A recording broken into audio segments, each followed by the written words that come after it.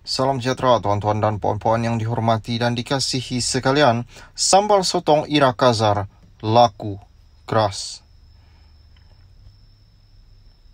Semakin aktif dalam terbuka dalam media sosial, isteri pengarah Syamsul Yusof, Ira Kazar dilihat kerap tayang skill memasak buat suami tercinta.